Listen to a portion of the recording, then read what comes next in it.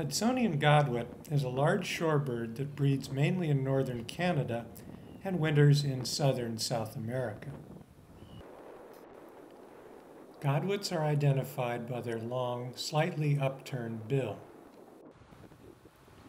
Breeding birds are a rich cinnamon color, but during migration molt to a drab gray.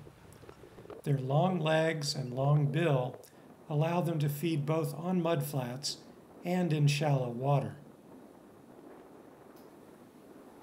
The birds are uncommon on the east coast of the United States, but they regularly visit South Beach in Chatham on Cape Cod on their southbound journey, arriving around mid July.